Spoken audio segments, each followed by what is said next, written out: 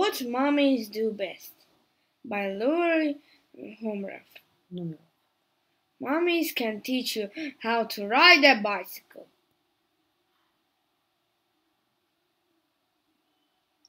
Mummies can help you make a garden grow and give you a piggyback ride.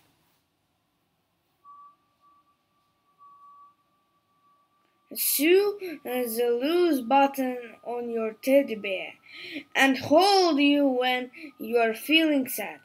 Mummies can take you trick or treating, help you give the uh, dog a bath, and play with you in the park. Mummies can read you a bedtime story and, and tuck you in and kiss you good night. But best of all, mummies can give you uh, lots and lots of love. But